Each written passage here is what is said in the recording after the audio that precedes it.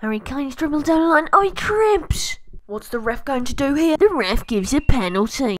Harry Kane, MBE, can I take the penalty? Yeah, you're right. I've always won on, but anyway. Thank you. Gareth Bale comes to the spot. He's going to take the penalty with a golf club.